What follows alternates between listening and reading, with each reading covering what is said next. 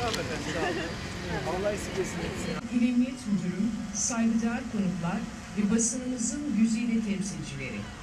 Türk Polis Teşkilatı'nın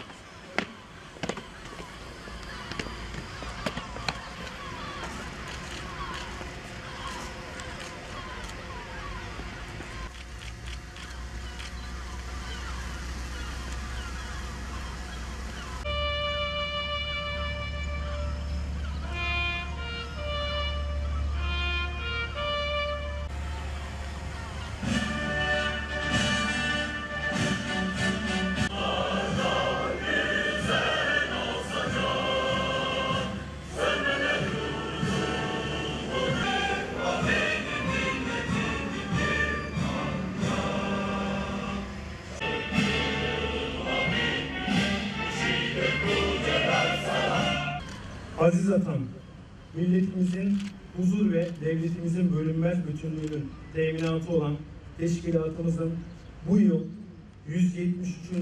kuruluş yıl dönümünü idrak ediyoruz.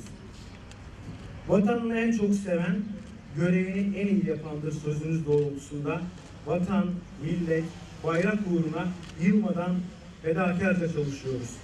Türk polisi gösterdiği olağanüstü gayretler ve yaptığı hizmetlerle aziz milletimizin gönlünde yer almanın haklı gurur ve mutluluğunu yaşamaktadır.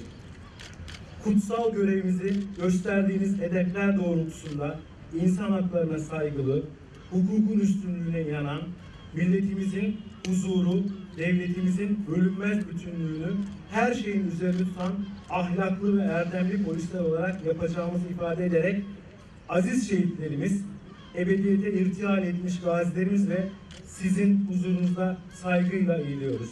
Ruhunuz şad olsun.